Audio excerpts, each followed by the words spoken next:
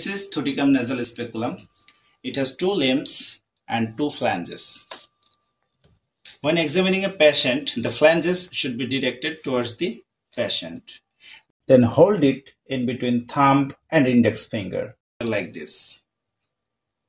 Then rotate the middle finger towards the opposite limb like this.